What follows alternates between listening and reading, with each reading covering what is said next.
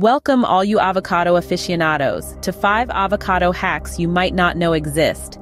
First up, keep your guacamole green by drizzling a little lime juice on top. It's a simple trick that keeps oxidation at bay.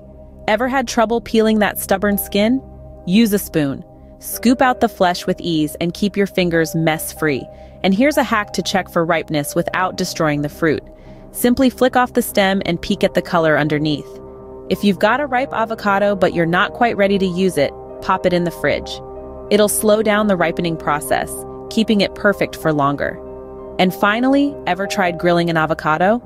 Slice it in half, remove the pit, brush with a little oil and grill for a smoky, delicious treat. There you have it, five quick tricks for all your avocado needs. Embrace the avocado love, folks.